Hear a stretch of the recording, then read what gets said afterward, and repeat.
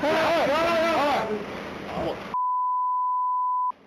李姓男子跟一旁有人对话，没料到下一秒却突然袭击前方正在执行公务的泰雅族钱玉山远警，还不时口出脏话辱骂远警。钱玉山远警被打倒在地上，当时场面相当混乱。远警及时反应，用双手抱住了李姓男子的双脚，才将男子压制住。这是发生在四月二十八日晚间九点左右，新竹县的李姓男子酒驾擦撞机车，下公馆派出所的远警到场处理时，李姓男子不仅酒测值高达一点零八，态度不佳，并不配合，随后更是又脱掉上衣，并闹话要和警察单挑。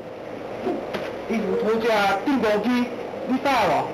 你们敢吗？我你们警察衣服脱下订购机，敢不敢？有几个胆的？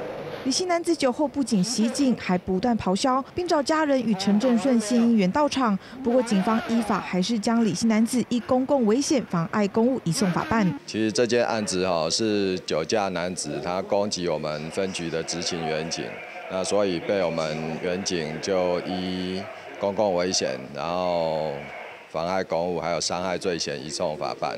那跟有没有议员到场关心案情，这个是没有关系。